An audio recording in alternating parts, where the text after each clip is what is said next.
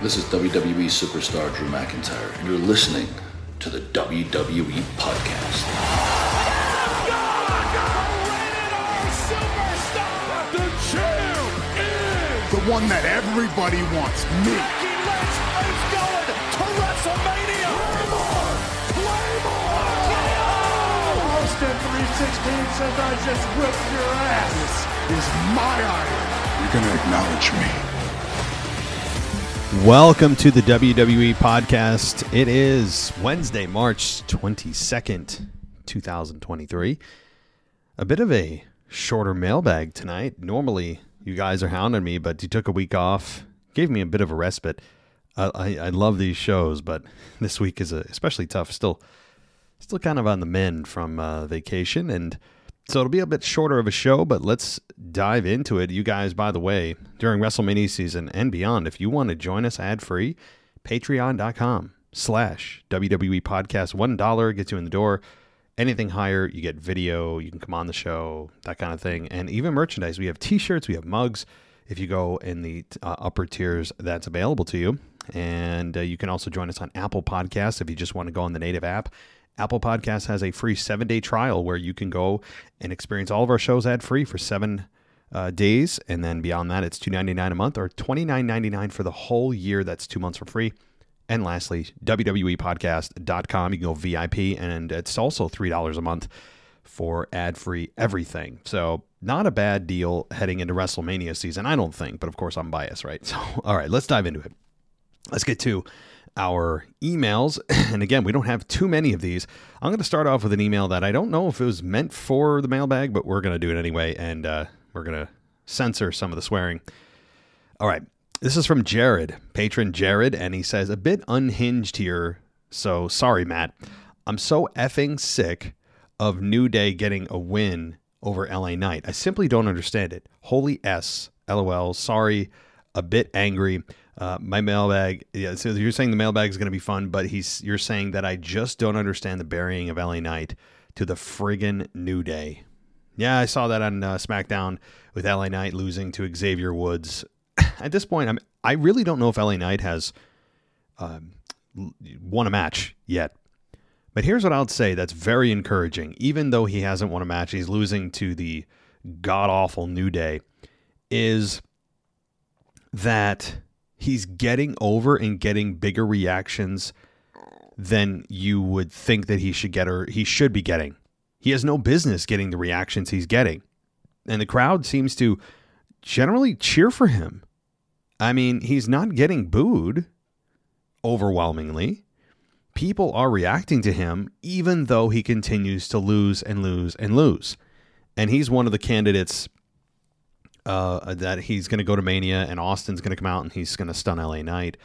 I think he's a good candidate for that. You know, I, I know that it's just kind of he's going to be a sacrificial lamb, but at least you'll remember that he worked with Austin. Hell, we had Austin Theory get stunned by Steve Austin last year, and look where he's at now. So I don't think it would hurt him at all. Uh, I think the Miz and or LA Knight and or if they're a co-hosting Smack or co-hosting WrestleMania somehow, Austin's a perfect candidate to come out, drop some stunners, and you know have a good time. So my point though is, think about how LA Knight is being perceived versus how many wins he's gotten. So that is a testament to how good LA Knight is on the mic, his presence, his entrance music, his just everything about him except the fact that he's not winning. In the ring, I think he's really good. Although we haven't seen a full fleshed match, he did have a match with Cody Rhodes a couple weeks ago on Raw. And that was the I think the best match he's had to date. Credit to Cody as well. But it, I think it's a encouraging sign for LA Knight that he's getting that reaction, even though he's losing to you know the worst of the worst in terms of character of you know Kofi Kingston and and and, uh, and, Xavier Woods. So character guys, character. So if you like the New Day, I'm not doubting their success or anything like that or denying it. Rather, just y'all know they are the epitome. They're the bane of my existence when it comes to pro wrestling. Okay, that's all I have to say about that. But there, how about some encouraging words for you, Jared? So hopefully I'm talking you off the ledge a little bit. And uh, let's get to our next email. And this one is Ari from Israel. And he says, Good morning, everyone. You talked last episode about the about LA Knight, speaking of LA Knight, and how good he is and how great of a future he has, I think LA Knight is something like MJF. Uh, yeah. I, I, well, I'll get to that. I'll finish your email. It's very brief. I like LA so much, I hope WWE will know what to do with him. Maybe even buy MJF and then they'll have a match. I guess that's too much to ask. Thanks, and you have a, you've been having great podcasts. Well, thank you so much, Ari, for your input and the hell LA Knight thing. I mean, I can't say enough about him right now. If I keep talking about him, it's just going to be redundant. But when you bring MJF into the equation, do I think he's MJF? No. I see the comparisons, though. He has that same magnetic feel when he's talking. Now, MJF on the mic is certainly going to outduel nearly everyone he comes in contact with. And I mean nearly everyone. I have said this from day one that I hope WWE pays him as much as they need. I have a feeling that they won't be able to outbid uh, Tony Khan only because MJF is kind of what's keeping them together, at least not not the whole company. It won't collapse without MJF, but he is a pillar of that brand. And I think they'll do whatever it takes to keep him. Where WWE is like, well, I'll, you know, I'll give him a solid offer. You know, take we can take it or leave it. Right? WWE is not going to collapse. Where MJF is a much bigger part of AEW, and they need him more than WWE does. But that said, John Cena and, and MJF on the microphone, it has to happen. I don't care if they never have a match, but having them in a ring together to battle each other verbally, I mean, how, how much money do you want? Just take it out of my account. Take whatever you want. so, uh, but as far as LA Knight goes and MJF, for them to have a match together, it's possible. It, I think it's going to really depend on how where LA Knight is in terms of the pecking order once MJF or if MJF gets signed uh, in November or rather January. So it's dependent. I could see it happening, but right now MJF, I think if I was to be a betting man, is probably going to be able to or will stay in AEW because they'll probably pay him more and they'll outbid uh, WWE. That's my thought. All right. Thanks, buddy. Let's get to uh, Mr. DJ Kuzmo. And he writes in and says, This is DJ Kuzmo back at it again, your mailbag show. So, your first topic the WWE Hall of Fame. This seems like the changing of the old guard of how the WWE makes decisions with who should be inducted in the Hall of Fame. So far, we have Rey Mysterio, the Great Muta, and the legendary comedian Andy Kaufman. I've heard of Andy Kaufman, the comedian, from watching old episodes of Saturday Night Live but I never knew he actually wrestled. Kind of odd to me. The Great Muta has not actively wrestled in the WWE, even though he has made some contributions to this industry of professional wrestling over 30 years. For over 30 years. Then we have Rey Mysterio, who still is an active wrestler on the roster and is a full time wrestler and also has contributed to the industry for over 30 years. My point is do you think that the process of who gets inducted into the Hall of Fame is solely focused on the contributions that the inductees have made in the industry outside of WWE or for the amount of years they've been into the WWE? Well, I, I don't think, honestly, the number of years is as much of a concern. I, I think it's a, yeah, in the top 10 of concerns. But to me, it's how, what impact did you have on the business? What is your legacy? How did you change the business? You know, because to be inducted into the Hall of Fame, you know, you must have had some major impact on the business. This is not a consolation prize. This is not a everyone gets a trophy deal, and it shouldn't be. Do I think they should actually be more selective of who goes in? Yes. And I actually don't think they should do it every year because I feel like when they do it every year, they're going to run out of people and start lowering their standards. You know, like I don't think that every year is necessary. If, if somehow it works out every year and they feel that there's someone coming up that is deserving, then yeah. But to me, every year I'm every year I'm looking around like, yeah, why is this every year? It should only I know that the MLB does it this way, but I don't know. I feel like it should only be done at WrestleMania times when it's they deem someone worthy. That said, uh, I think that how they select somebody again is based on the impact of the business. Longevity can come into play in some instances, but like for take for example, Stone Cold Steve Austin was really only hot hot from 97 to 03 when he retired, 5 6 years, right? That's when he was the the hottest. Now of course, After that, he was you know, the Raw co GM with Eric Bischoff, and he kind of came in and out of WrestleMania, in and out of Raws, and stunned people. And he, he was a part time guy. He was forced out of the business, but he didn't get real hot till 97. You take out 07, or rather uh, 97 to 03, and you know Stone Cold did not have a Hall of Fame career. And before that, of course, he was with the Hollywood Blondes and all that. My point is, Austin was only super, super hot for about, say, five years, right? Where he was dominant and, and unbelievably over. You take somebody like The Undertaker, who had the longevity of like 30 years, right? Two legendary guys, much, much different in terms of uh, the length of time. You know, and I just I think that the length of time isn't as important as it is to say to the, the panel, whoever this is, of of judges, this, these mysterious judges, which we all know is just you know Triple H and probably Vince to some degree, and uh, you know executive management, who decide who goes in is what impact did they leave? Did they leave on the business? You know, uh, did they ever turn their back on us? Are they giving? Are, are they currently in any hot water? Right. You don't want to. You don't want them to induct somebody that's currently under investigation or has some kind of outstanding issues going on in the public eye. You know. So like you need to consider that, and I think that's generally what it is. And it's a uh, certainly a subjective thing though. But you know they also have the Hall of Fame wing or the uh, celebrity wing. I think wasn't Bob Barker inducted or uh, Kid Rock I know was. Mike Tyson was and you know those are the the guys that didn't contribute to the business in terms of phys- physicality, but left a lasting impact.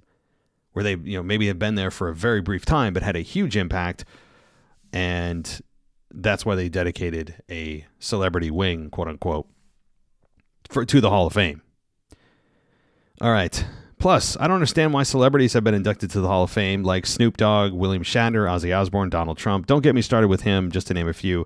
And they haven't wrestled, just my opinion. Well, again, don't forget that's the celebrity wing. They aren't putting those guys in with the the regular wrestlers. They will slay. They will say slay. They will say when they're being inducted that this is the celebrity wing. Again, there's no physical Hall of Fame yet, but that's the, the distinction is that it's for the uh, the celebrity wing of the Hall of Fame. I totally agree. If they never made that distinction, if they didn't distinct, you know, Ozzy Osbourne from the Undertaker, from the contributions made to the the business, of course that'd be ridiculous. So that's how they kind of get away with it, is making a celebrity wing. One day it'll be a physical Hall of Fame. I hope. All right. Also, I'm not too sure if a referee has been inducted. So, do you think at some point we should get a referee inducted? If so, who? I mean, Earl Hebner, for God's sakes. Tim White, uh, I think, are two right there. Uh, Charles Robinson is another. Absolutely. Or, or any of the ring announcers like Tony Chimel, The Fink. Well, he's already been inducted, I think. You know, guys like that. So, yes, they should absolutely do it. And and well, there you go. I, I, didn't even look at your list here. The next sentence you said, who I think the most respected referees in the industry. I think of Charles Robinson, Mike Chioda, Earl Hebner. Some of the greatest wrestling matches that have ever happened in the WWE were refereed by one of these three men. To me, it's long overdue that these three referees and many others that forgot to I forgot to name are inducted into the Hall of Fame. Absolutely. Yeah, I mean Earl Hebner is one of my all-time favorites. Probably my favorite is Earl Hebner. I love the way that he would and just he wouldn't put up with anybody's BS. He actually seemed like a smart referee. Uh, he fit and looked the part. I remember him shoving Triple H at one point, standing up for himself. Remember that? And he did the quick count on Triple H. I think it was like 2001 or so, 2002, uh, or maybe even 2000, somewhere in that range. I love the way that Earl Hebner counted the three. He wouldn't race to do the three count. Where today, if you were actually to watch most referees, the three count is less than three seconds. It shouldn't be. I think the pacing of the one, two, three needs to slow the hell down. Um, one of my pet peeves. But one final question on the Hall of Fame. I know most people will disagree with me here, but do you think at some point, maybe 15, 20 years from now, Chris Benoit gets inducted into the Hall of Fame? In my opinion, from a pro wrestling standpoint, at some point in the future, he should, even though the events of the personal life overshadowed his amazing wrestling career that spanned over 20 years in five different wrestling promotions. The guy was a world champion and one of the most respected wrestlers in the industry before that unfortunate family death. Well, No, I don't. I mean, it, it's not an unfortunate family death when you know you, you you murder your family, your kids, and then kill yourself. I know there was the CTE thing, all of that. It's still hard to excuse, you know, what he did and the way he killed them. Uh, like, I mean, it's it's I don't think ever going to happen. Ever. I don't care how much time passes.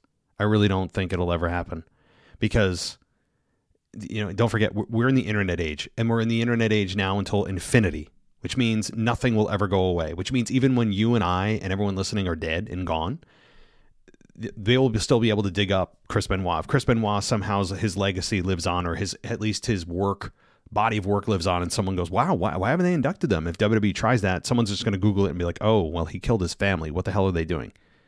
It's it's not going to you can't ever unfortunately separate the two anymore when it comes to the Hall of Fame. If you want to just have a discussion about his work on a podcast or write an article about it, absolutely. But when it comes to inducting him into the Hall of Fame, that's like WWE putting his their stamp of approval on this guy's body of work, what he meant to the business, and him as a person.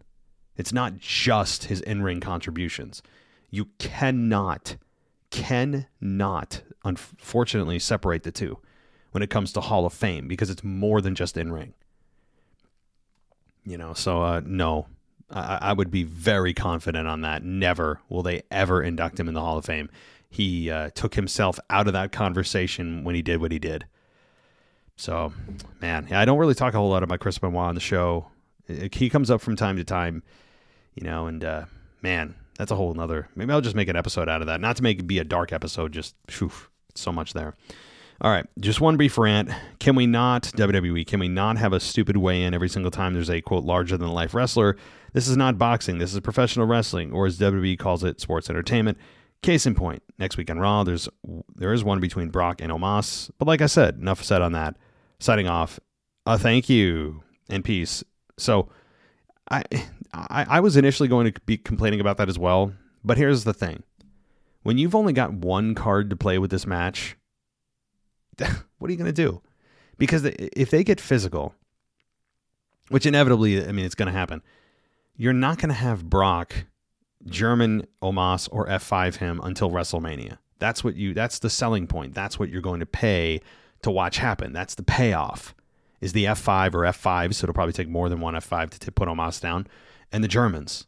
He'll probably get a few of them, probably five or less. I, I don't imagine Omos taking too many Germans, even though it's going to happen. So my point is, when this is all the match is, the weigh-in kind of makes sense. There's nothing else to this match. It's just size differential. It's can Brock pick Omos up? That's when you boil it down to just the basic. Uh, that, that's what it is. So when that's the only card they've got to play, the weigh-in makes sense. Now, when they put the weigh-in in on a match that has more depth, I agree it's kind of overplayed for this instance, I'll let, I'll let it go. All right. Thank you, DJ. Let's, uh, I, I think, wait a minute. I'm going to check my emails. I think that's it for the emails. So, emails are brief this week, guys. Let's just uh, dive right into those voicemails. I know I'm ready. How about you? Let's do it.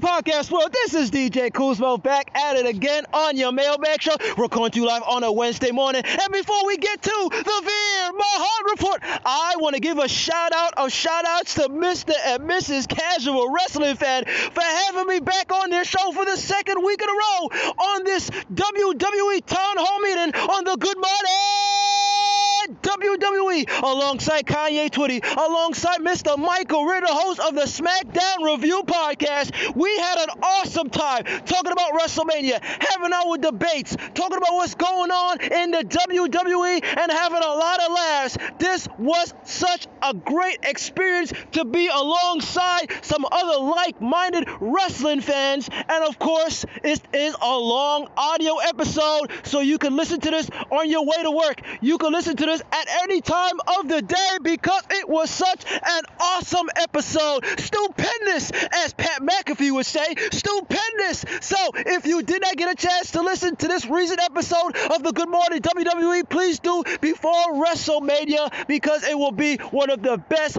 episode experiences of your life. Now, let's get back to the Veer, the Veer, the Veer, the Veer Mahaan report. Now, the Veer Mahaan report took place last night on NXT, but for the second Tuesday in a row, we did not get an appearance of Veer Mahaan. We did not get an appearance of Sanga, but we did get an appearance of the modern day Maharaja Jinder Mahal as he staked his claim to the NXT North American Champion that he wants to be included in the Fatal Five Way at NXT Stand and Deliver.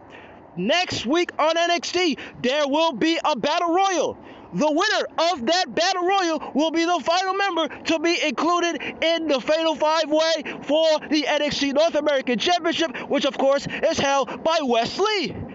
Jinder Mahal says, I want to be that last person. I want to be the one, the last man standing in that battle royal. And I hope to God he does, because of course, hopefully we get to see the Sher of my guy, Veer Mahaan Sanga, the Sher back together, hopefully to support none other than the modern day Maharaja Jinder Mahal next week on NXT. Once again, this is your boy DJ Kuzmo. Have a blessed week. Have an awesome week. Be kind to one another. Stay used my friends, and peace.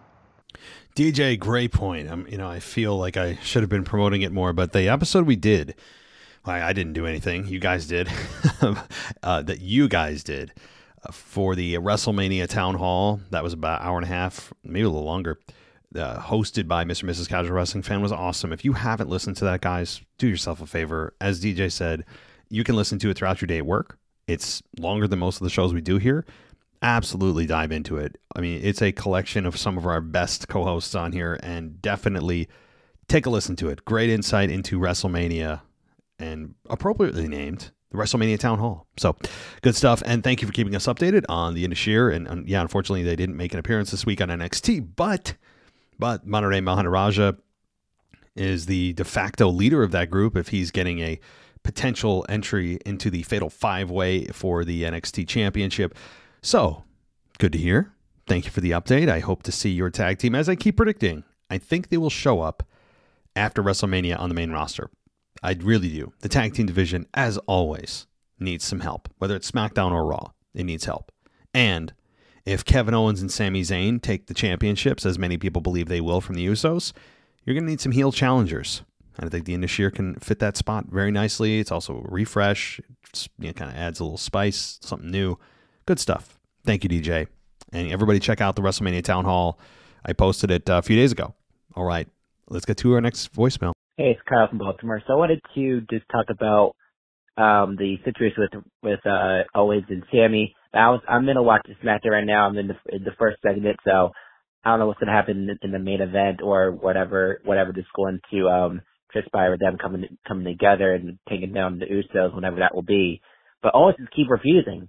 Um, and so at this point, as only a few more weeks to WrestleMania, how can he build up to this match when there's no again? This is this is one this is one of of, of at least two matches that the build, there is no, there's nothing for it. There's no build to it, to it.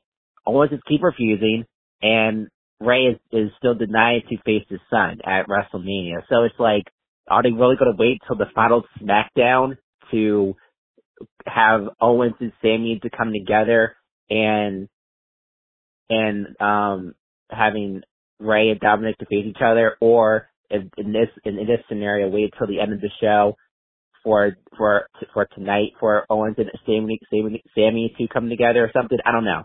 Point is, is that I just don't know what it just it just feels like the, the entire lead up to WrestleMania, said before, just has been not all that great. The build to has been great, and Cody Rhodes being the person to try to put them together. I don't know why he cares to have Owens and Sami together. So, what do you just think about that scenario and you know, why does Rhodes care too much about this? Uh, but that's it. Thanks for my call. Bye. All right, Kyle. Well, your answer has already been given since the end of the show. You saw them reunite. So I, yeah, I, I think it was actually well done. I was I, I, emotional for it. They did a great job in execution, even though we all know it was coming. you know, they certainly waited till the last second, but not to be outdone by Rey Mysterio and Dominic, who have yet to make anything official, and I still am against them doing anything at the Hall of Fame. I think that would be a mistake because it would say that you know the storyline is more important. Uh, a a storyline, any storyline is more important than what is going on at the Hall of Fame, and I don't think that sends the right message in any way. So hopefully they wrap things up this week, and I think they will.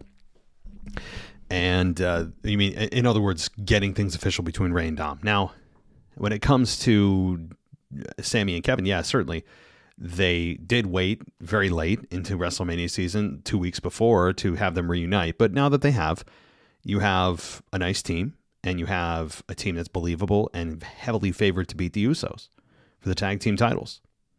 Uh, you know, I think that they have a good reason to put the belts on them yeah. Now Cody Rhodes trying to bring them together. At first, I was just like, man, they are doing everything to put this guy in the best light possible. He's the he's the healer. He's the you know the sentimental favorite. His daddy died. Oh my God, they're doing this for the family, and he comes out such sharply dressed, and he's always put in the best light. He's saving Sami Zayn. Now he's trying to bring Kevin Owens and Sami together.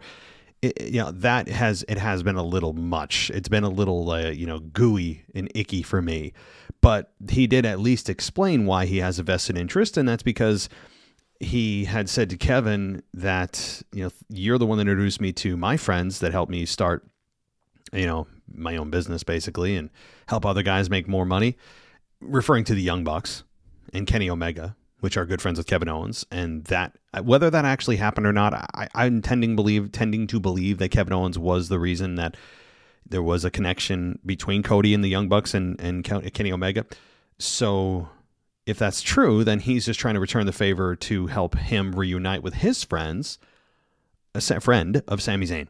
So fine. At least, you know what? I'm giving them credit for at least trying to tell us why Cody Rhodes even cares. Instead of just out of nowhere, he's the he's the moderator. He's the one that's trying to be the peacemaker. I'm glad they gave us something, so I'll, I'll stick with that. Thanks, Kyle. Let's get to our next one. Ah, Alex, the French guy here, your current European champion. I've been calling this week to say once again that I'm not super impressed about WrestleMania this year. Pretty average card in general.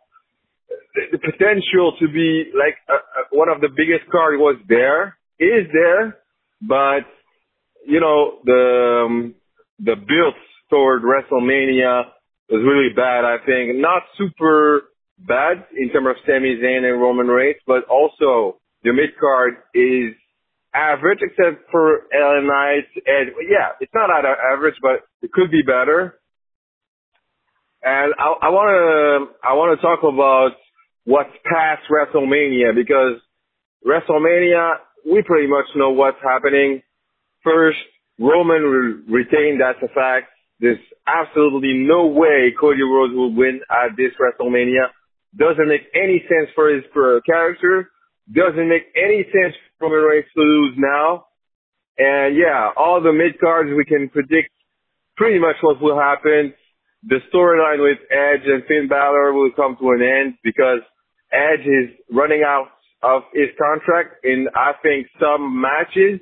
I don't know exactly how, but it's less than six or less than ten, and he's having a contract for I think five or seven match left, uh, maybe more, but not too much. I think until the this summer, he he will he will get the boots and uh, take his retirement and and stop stop wrestling. And for the other other matches, I'm really big on LA Knight at the moment. I was always big on LA Knight. He, he's the guy, like he's very organic guy he he's follow he follows the lead by the writers. Apparently, also executive of WWE are very um, happy with this. But yeah, uh, very average card. But after WrestleMania, I really don't don't know what story they will bring up. Maybe they will continue on the Cody Rhodes versus Roman Reigns, which is very average. I think, I think the better move is to build Cody Rhodes on his side and build one of the biggest storylines involving Seth Rollins. He should be the one to dethrone Roman Reigns. He's a good guy. He's a good talent. He's been having so much losses recently. He, he could have the possibility to go everywhere, anywhere, but he stays with WWE. Of course, there's a contract, but he could, he was never, he never told that he was unhappy with the situation. I think he really, really deserves. All right, Alex got cut off a little bit at the three minute warning, but okay. WrestleMania. I feel you to some degree that it's a not a great build. It's not a great. It hasn't been amazing, and I think part of that is that over the years we've been conditioned to have these attitude era stars come out of nowhere, have great matches, or uh, you know come out of retirement, and I think we need to stop leaning on that and, and uh, you know relying on the stars of yesteryear to come out and produce because that's not fair. And I, the business is about new stars. It should always be about new stars. But to say that it's an average card, though, I, mean average in terms of what star power or who they could have matched up. You know, Omos and Brock, I think so far people are more interested than I would have imagined, and I'm more interested than I thought I'd be. So that's you know a success so far. Uh, you know, you have Cody and Roman, which is going to be an amazing matchup from just a wrestling. Even if you don't like the story, the wrestling on this show, from a just in ring, take the storylines aside, is going to be excellent. I believe excellent. You're going to come away with this going, "Wow, okay, they got me invested." It may not be the best WrestleMania I've ever seen, but it certainly exceeded expectations.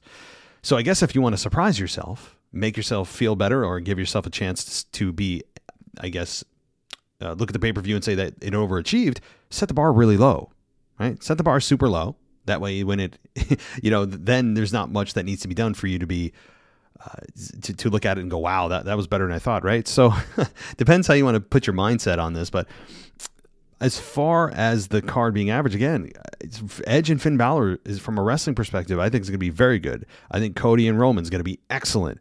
I think Seth Rollins and Logan Paul has the potential to steal the show. Again, all from in ring, right? Some of the stories I agree haven't been great. But to your point about Seth Rollins being a guy that could face Roman, hell yeah. He's another he's also really over as a babyface right now. For the first time in his career, he's over being obnoxious so that he doesn't have to try to hide his obnoxiousness. It's just out in the open and people have accepted it, which is why I think it's working better than him trying to play the straight straight-laced babyface in years past that never worked. And he's absolutely a candidate to face Roman and be Roman. This is why I'm telling you, and I agree that Roman Reigns, I think, is favored in my mind from a pure moving forward past Mania that you want to talk about. Uh, storyline perspective, they haven't got there yet. How have you not gotten to Roman and Seth for the championship yet? That's an untold story. Jey versus Roman, untold. You want to go back to Sami? You can absolutely do that. You know, like Randy Orton's coming back. There are so many untold stories that Roman has yet with the championship that he has yet to to tie up.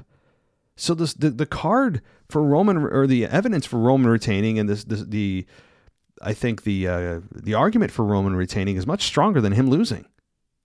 Because okay, you get the moment of mania, and then okay, Cody's champion, but like you have untold stories that Roman could have had with this legendary run, and then you cut the thousand days short.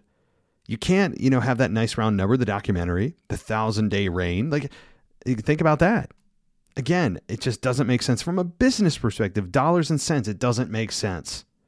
You may pop a rating. People just tune in to see how Cody is as champion, you know, out of a curiosity factor. Maybe some stick around, some don't. But the ratings have been indisputable with Roman as champion, especially on SmackDown. The ratings have been up a lot and consistently. So why mess with the formula? You know, so all right, that's my rant. I'm with you. I'm with you. All right.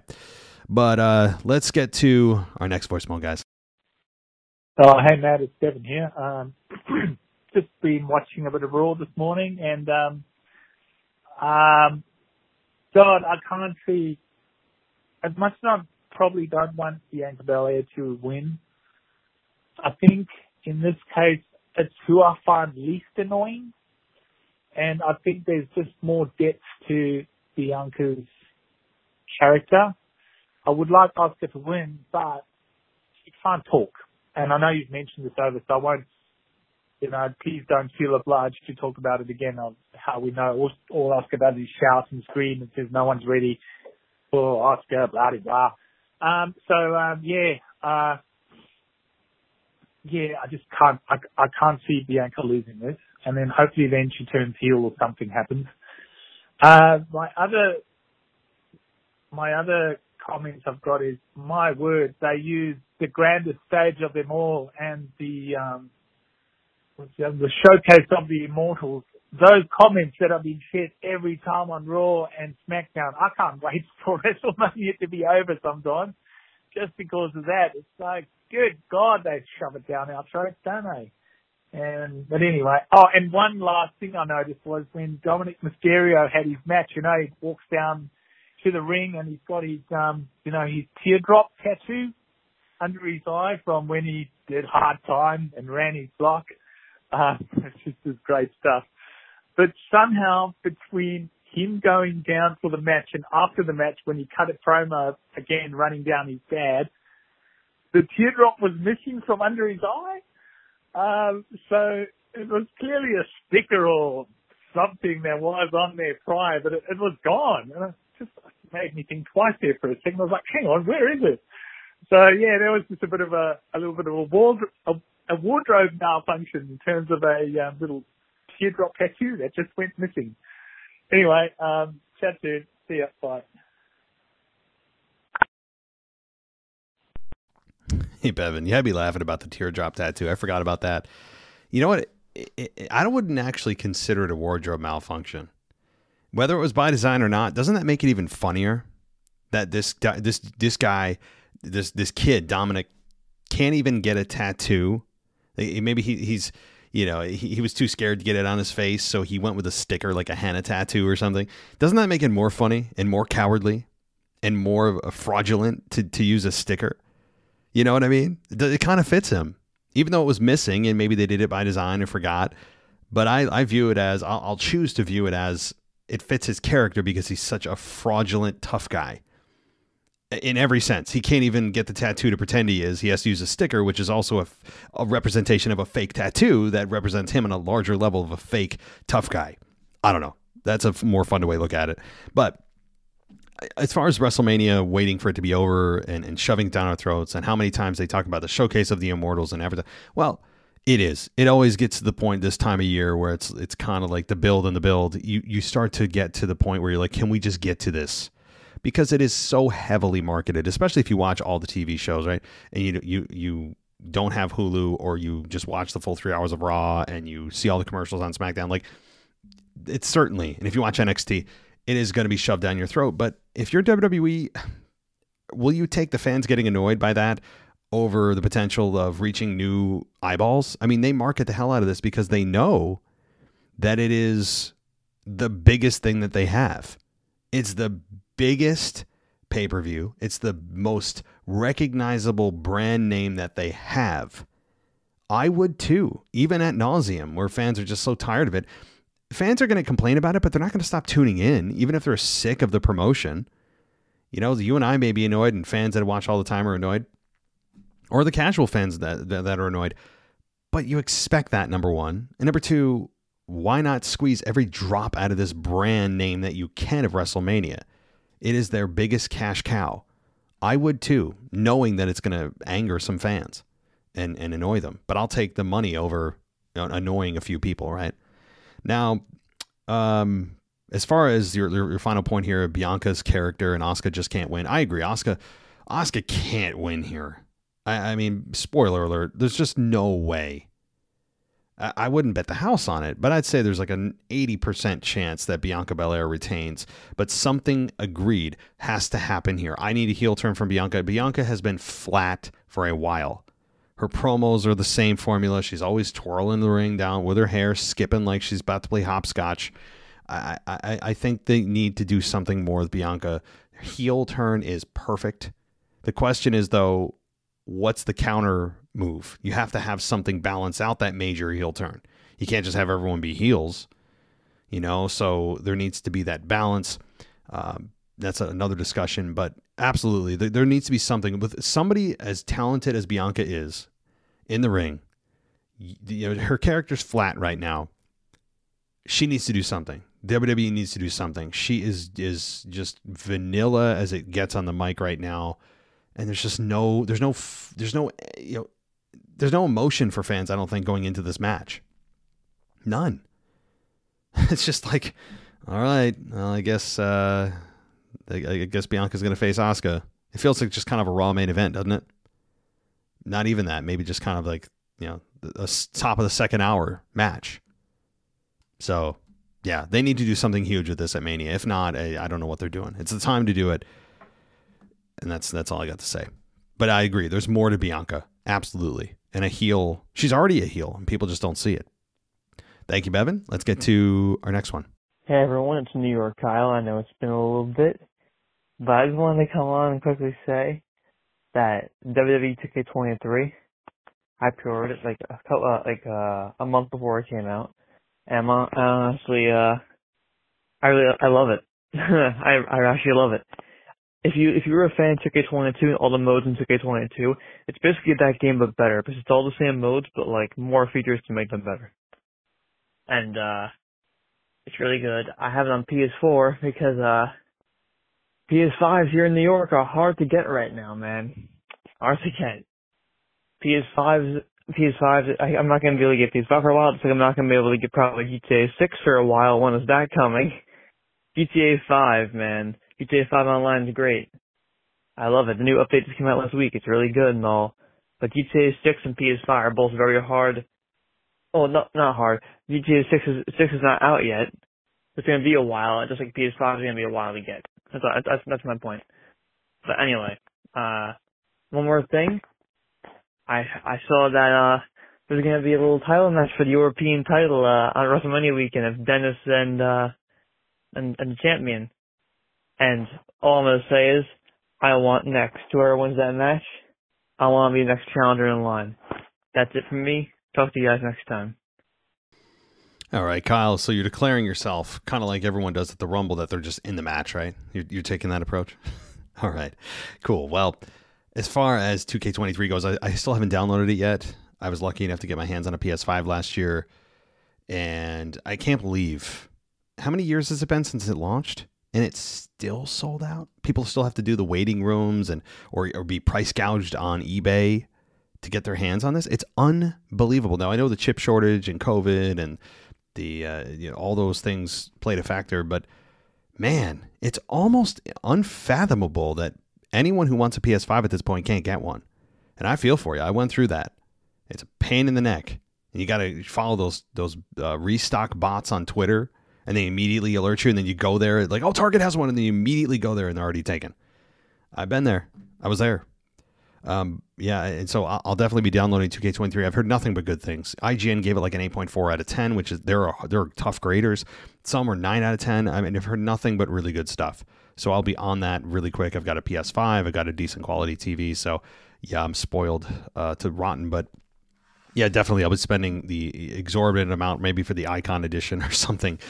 Um, so yeah, uh, is that as far as that goes, check it out. But um, you know, when it comes to GTA, yeah, I don't talk much about this game because this isn't a video game podcast, but it's been 10 years since GTA 5 came out, 2013. And we all saw the leaked footage of GTA 6, which has been confirmed that it's real. And that hasn't that's not finished footage. That's kind of like beta footage. It's not fully filled in. There's not the reflections and the ray tracing aren't in there and all that stuff. But it's going to be next generation only. You know, so if it's next gen only, and most people, not most people, there's a good chunk of people that don't have a PS5 that want to get one, then that means GTA 6 isn't going to get the maximum amount of uh, of exposure or sales when the the moment that it's released, which I think will be next year.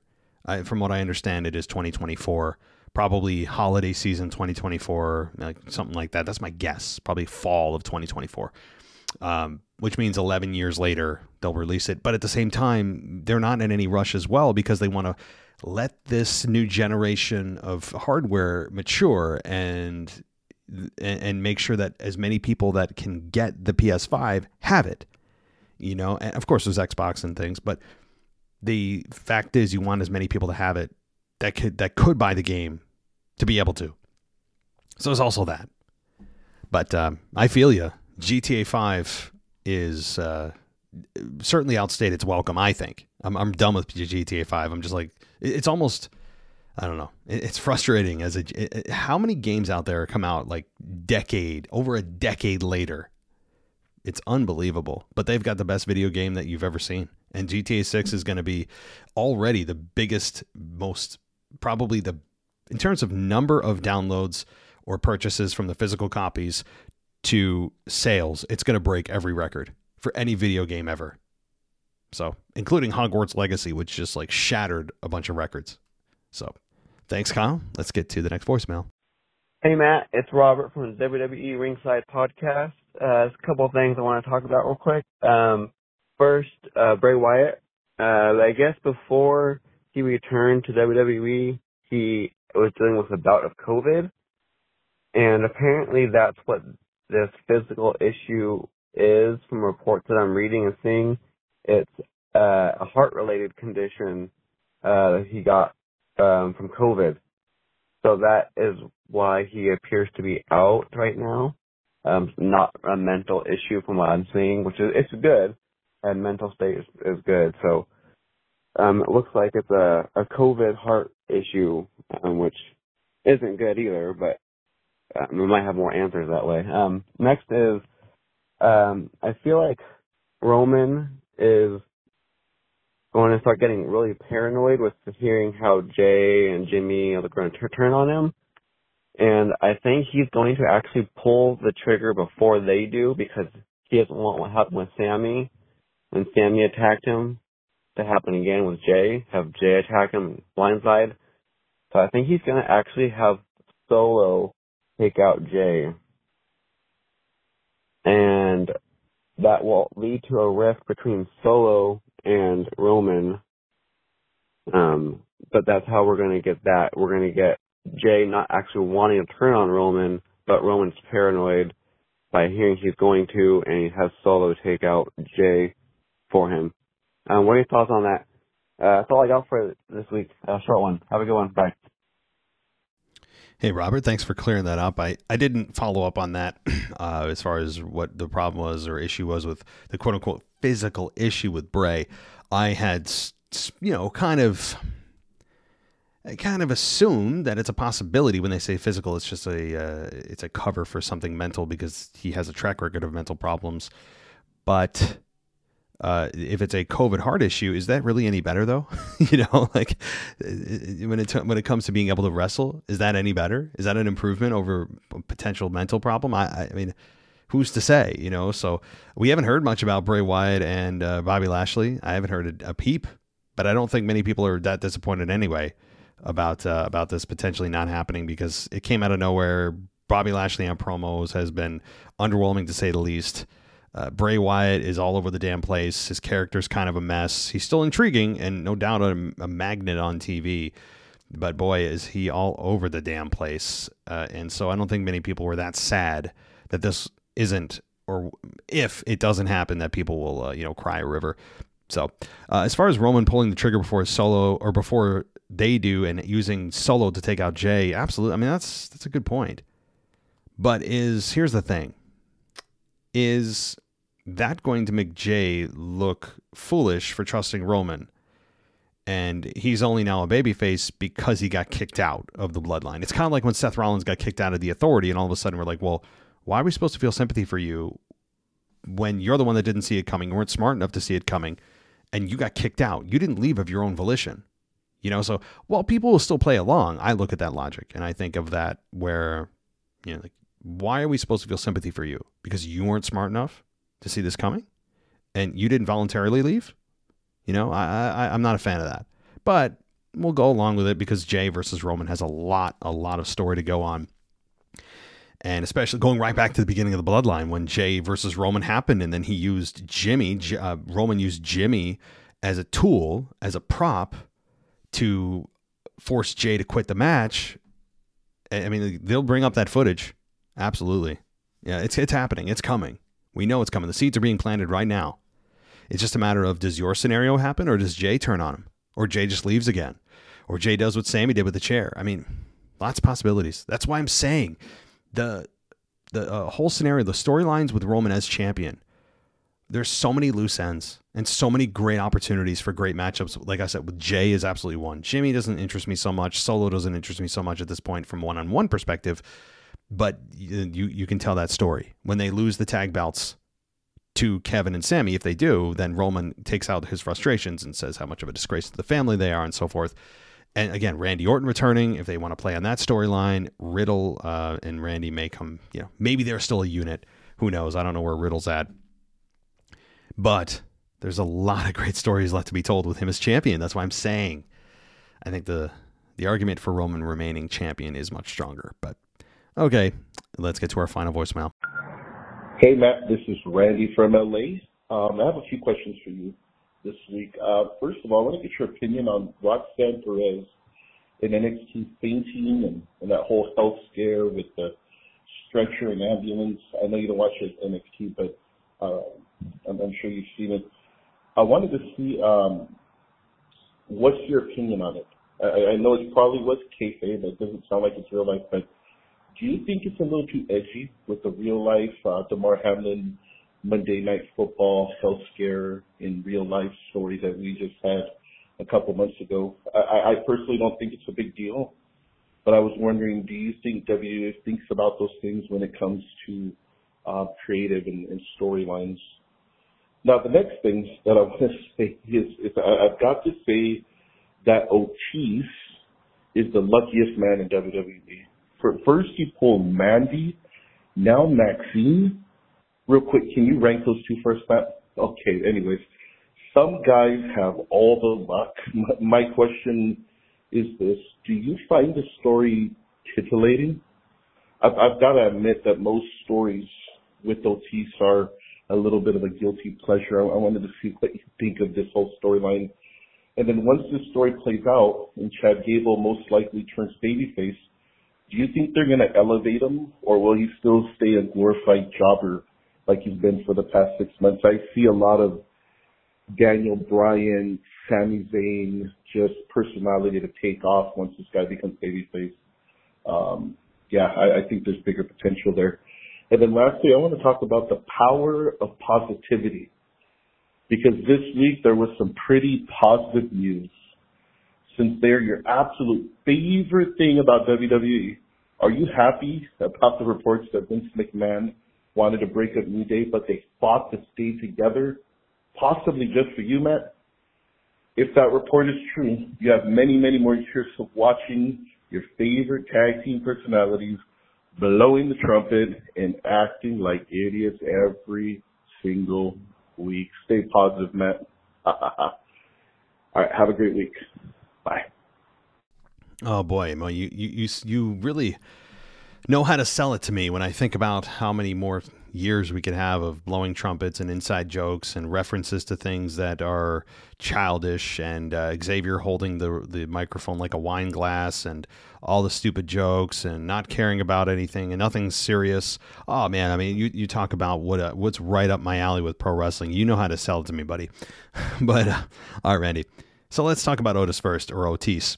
um, I l- actually find this entertaining. It is a guilty pleasure of mine too. Like Otis is, or Otis, excuse me, Otis is talented, multifaceted. He knows how to. They they tried the monster thing, and when he shaved his face, that was kind of weird. I, I like him with a beard, but he knows how to play the monster. And there was a, a point where I was like, well, they're going to do something with him. You know, he remember how many times that Randy Orton tried to RKO him in that match, and he just he's un RKOable and he finally hit it and i was like well they're doing something here. And they never ended up doing anything serious but there was a point there right? And so he's shown there's potential. But do i think that when chad gable turns babyface that they're going to do something with him? Well i think he's already kind of babyface. Was he ever really a heel? He's i mean he's he's kind of the heel that you don't really boo because you feel bad for him but you know how talented he is. So i don't i don't ever really consider never have considered him really a, a true heel so it wouldn't be hard to flip him completely babyface. I think he's already halfway there. So do I have any faith that they're going to elevate him? I guess the question is, well, it should be refined to what level? You know, like what what level do you think that he may go? I think he could get to like U.S. title contention. I don't think he'll ever make it to the top. I mean, just unfortunately, no. But his wrestling acumen is unmatched. Being a real Olympian, and and of course, uh, you know, in ring pro wrestler, his skill set is really unmatched. He is so good that people don't realize it because he's losing all the time. And I think that yeah, once they split these two up, absolutely, you could absolutely elevate him to a U.S. title contention, and he's good on the microphone too. It's just a matter of the the machine getting behind him, and I don't know if they do what that level will look like. Now, lastly, about the Roxanne Perez thing. Admittedly, as uh, you you know, I don't watch NXT, but I did make a point since you asked to watch it, and you know I, am okay with it too. They, I don't think they crossed the line. It's a believable injury. They're not mocking anyone specifically. Uh, you know, they did bring some real elements into it. They didn't do the X sign, right? But they, they had the referees come out and she collapsed in a way. I watched her collapse. That I mean, it's clearly her protecting herself. It's fine. You know, she she did as good as she could have done, uh, falling on the mat. And then Shawn Michaels comes out, and the people clap as she's being brought out, which means some people really bought into this being a real injury. I have no problem with this. You know, that's actually something that I wish they'd bring back more of. Generally, is realism, believability, emotion. This generated emotion from a lot of people of sympathy. Absolutely no problem with this. I know again in today's society, it's uh, you know everyone is uh, concerned about everyone else's feelings. How about we just worry about creating feelings, emotion? Emotion is always going to bring people in, whether you love it or hate it. It's if someone has a strong opinion about it, that's what you want. Okay, and in this case, I think they did a good job. It's believable. It creates sympathy automatically. It gets people talking. Oh my God, is this real? Right? That's what you want. That's what that's what pro wrestling needs more of right? Not meta stuff like talking about like behind the scenes, or as Cody always likes to put it, peeking behind the curtain, or St. Louis, what do you want to talk about? Like, come on, dude. I know I didn't mean to bring Cody into this, but when he when Cody tries to do that stuff and why he thinks what do you want to talk about is going to be a thing, it's not going to be a thing. Okay? Fetch isn't going to happen, Gretchen. Okay, those of you that have no idea what I mean, those that know know.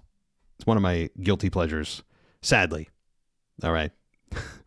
and, and, those that don't know, Mean Girls 2004 movie. Make fun of me all you want. I don't care. It's cool. I've accepted my faults. Mean Girls is one of my favorite movies. Not my number one, okay? I've got much more manly movies that are my favorites, but it's in my top 10.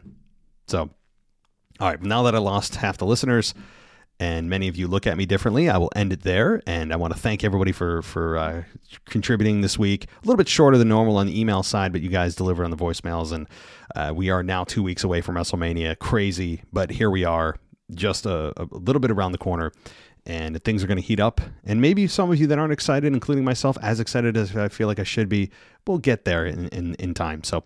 Thank you so much, everybody, for contributing. I'll be back this Sunday night with your weekend review, making up for lost time last week of not being here. And until then, take care. I'll talk to you next time.